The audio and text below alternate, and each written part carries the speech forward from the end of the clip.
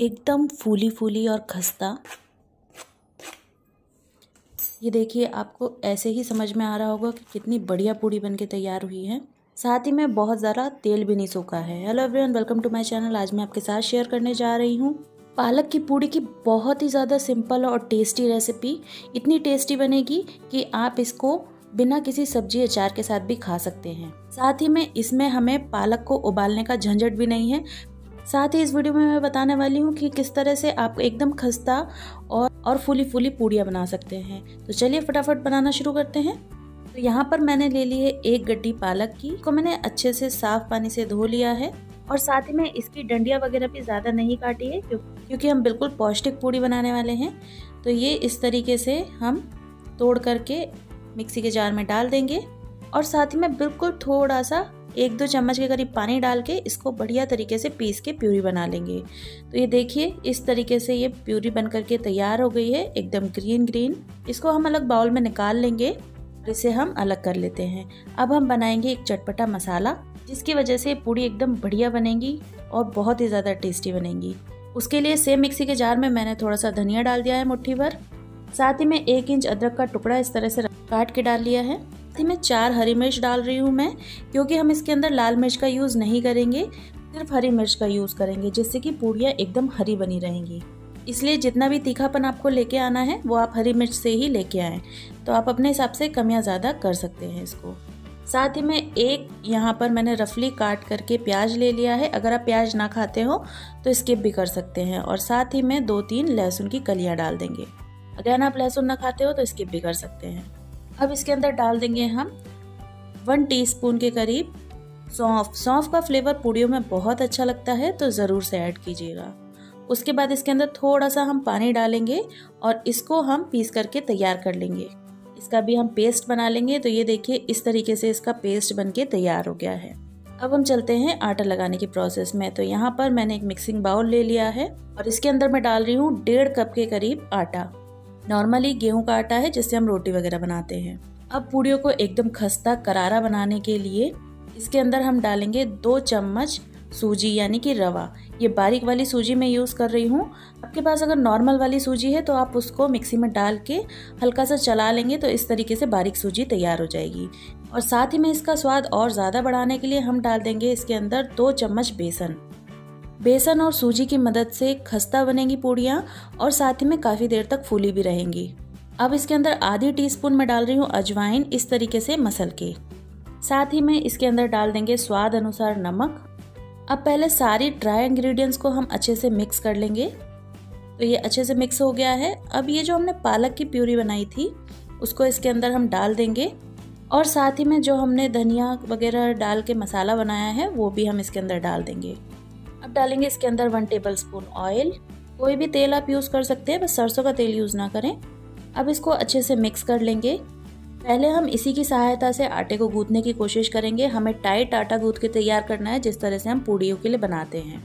But अगर आपको ज़रूरत लगे तो आप इसमें बाद में पानी मिक्स कर सकते हैं थोड़ा सा हमने इसके अंदर पालक कच्ची ही डाली है, क्योंकि जब हम पूड़ियों को फ्राई करते हैं, उस टाइम पर भी पालक आराम से पक जाती है। पालक को पकने में टाइम बिल्कुल भी नहीं लगता है।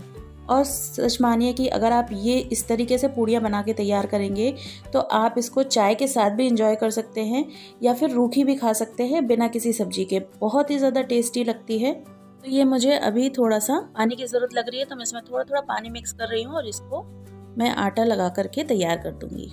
तो जब तक मैं ये आटा रेडी करती हूँ, तब तक आप लोगों से छोटी सी रिक्वेस्ट है, इसी तरह की टेस्टी रेसिपीज़ देखने के लिए। अगर अभी तक मेरे चैनल को सब्सक्राइब नहीं किया है तो जल्दी वीडियो के नीचे इस लाल रंग के सब्सक्राइब बटन को दबाएँ। उसके बाद इस घंटी को दबाना है। ऐसा करने से जब भी मैं कोई नया वीडियो डालूँगी, आपके पास तुरंत एक नोटिफिकेशन आ जाएगा। सब्सक्राइब ज़रूर करिएगा बिल्कुल फ्री है। तो ये देखिए, इस तरह से आटा लगा करके तैयार कर लिया है। इस तरह से थोड़ा सा टाइट ही आटा आपको लगाना है। और साथ ही में हमने इसके अंदर सूजी डाली है, जिसकी वजह से आटा थोड़ा सा और टाइट हो जाएगा। अब थोड़ा सा ऑयल अप्लाई कर देंगे इसके ऊपर। इस तरीके से हम चिकना कर लेंगे आटे को। अब हम इसको ढक देंगे और ढक करके इसको 15 मिनट के लिए रेस्ट होने देंगे, जिससे कि हमने जो इसके अंदर सूजी डाली है और बेसन डाला है, वो अच्छे से फूल जाएगा और मसालों का फ्लेवर भी ज़्यादा अच्छा आएगा। तो ये देखिए 15 मिनट हो गए हैं। अब इसको हल्का सा हम और मसल लेंगे। मसलने के बाद में अब हम इसके छोटे छोटे से पेड़े तैयार करेंगे इस तरीके से। पहले मैं इसका ऐसा लॉब लॉब जैसा बना लूँगी और इस तरीके से छोटे छोटे हम पेड़े बना के तैयार करेंगे नींबू के साइज़ के। ये देखिए इस तरीके से। अब एक पेड़ा लेकर के थोड़ा सा ऑयल अप्लाई करेंगे हम। इस पर भी आप बेलने वाले, हाथी में थोड़ा सा बेलन पे भी ऑयल लगा लें।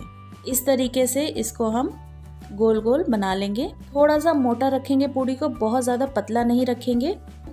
अगर आप बहुत ज़्यादा पतली पूड़ी बनाएँगे तो उसको फूलने में दिक्कत आती है, इसलिए हल्की सी मोटी बनाए, तभी ये ज़्यादा टेस्टी लग, ये देखिए इतनी मोटी रखी है मैंने, इसी तरीके से सारी पूड़ियाँ बना करके तैयार कर लें।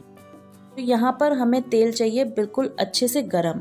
ये देखिए इस तरह से थोड़ा सा आटा डाल के देखेंगे, बिल्कुल जल्दी से ये ऊपर आ गया ये देखिए। बस इतना गर्म हमें तेल चाहिए, अब पूड़ी हम इसके अंदर डाल देंगे आराम से। और उसके बाद आप कोई भी चमचा ले लीजिए इस तरीके से। और उससे ऐसे दबा दबा के आप पूड़ी को फुलाइए। और पूड़ी को सेकते टाइम इस बात का ज़रूर ध्यान रखिए, तेल बहुत अच्छे से गर्म होना चाहिए। अगर तेल ठंडा हुआ तो पूड़ी जो है, वो ऑयल सोक कर लेगी और फूलेगी नहीं। इसलिए तेल को अच्छे से गर्म हो जाने दें और उसके बाद ही पूड़ियों को सेकना शुरू करें।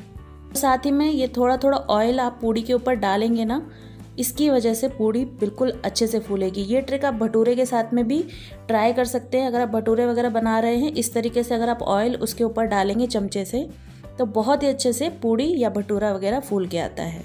तो ये देखिए, ये पूड़ी तैयार है, इसे हम निकाल लेते हैं और इसी तरीके से अब दूसरी पूड़ी भी मैं आपको फुला के दिखा देती हूँ। देखिए, इस तरीके से ऑयल ज़रूर डालिएगा आप। ये देखिए, फूलना स्टार्ट हो गई है।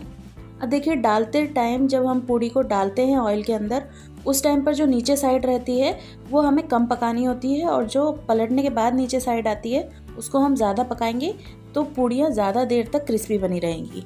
इसी तरीके से मैंने पहले भी पालक की पूड़ी की दूसरी रेसिपी शेयर करी थी। वो अगर आप देखना चाहते हैं तो ऊपर आई बटन पर भी क्लिक करके देख सकते हैं। साथ ही लिंक मैं डिस्क्रिप्शन बॉक्स में भी डाल दूँगी और एंड स्क्रीन पर पूड़ी की पिक्चर लगी होगी, उस पर भी क्लिक करके आप देख सकते हैं। वो भी बहुत ही टेस्टी बनती है, साथ ही डिफरेंट तरीका है बनाने का, आप ज़रूर ट्राई कर सकते हैं उसको भी। ये देखिए, पूड़ियाँ बन करके तैयार हैं, इन्हें हम निकाल लेते हैं और इसी तरीके से आप बाकी की पूड़ियाँ भी बना लें। तो ये देखिए, बिल्कुल ऑयली नहीं हुई है पूड़ियाँ। अगर आप अच्छे से तेल गर्म करने के बाद पूड़ियों को फ्राई करते हैं तो बिल्कुल भी ऑयल ऑयली नहीं होती है पूड़ियाँ। और अगर आप ठंडे तेल में पूड़ियाँ डालेंगे तो वो ऑयल सोक कर लेती हैं, साथ ही में फूलती भी नहीं है अच्छे से। ये देखिए, आप देख सकते हैं, बिल्कुल ऑयली नहीं है। और मैं आपको तोड़ के भी दिखाती हूँ, देखिए कितना खस्ता है और एकदम क्रिस्पी हुई है। इन पूड़ियों को आप हलवाई स्टाइल आलू की सब्ज़ी के साथ सर्व करिएगा, बहुत ही टेस्टी बनती है। उसकी रेसिपी भी मैंने ऑलरेडी अपलोड की हुई है, जिसे आप एंड स्क्रीन पर भी क्लिक करके देख सकते हैं। तो कैसी लगी मेरी ये रेसिपी बताइएगा ज़रूर। लाइक शेयर और कमेंट कर फिर मिलेंगे एक नई वीडियो में, तब तक के लिए बाय